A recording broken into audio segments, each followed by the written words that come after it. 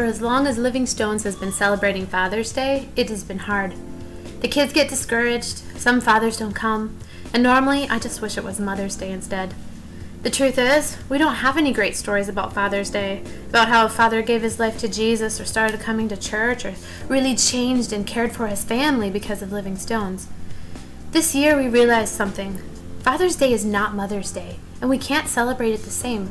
Mothers and fathers are different and play different roles in their children's lives, and the kids need both. This Father's Day we changed the discussion. Instead of asking for happy memories and things they loved about their dad, we asked them how they could be a good father someday.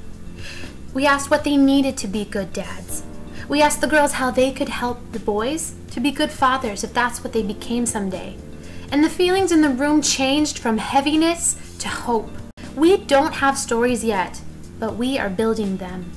Growing up, I never had a father. A lot of guys, a lot of pastors, a lot of leaders um, started investing in me. And now that I look back, I see that without all that investment time, I wouldn't be where I am today because they filled a void. It took so many, so many men to fill the void of one missing father. So I want to do the same thing for, for other kids. I want to give back.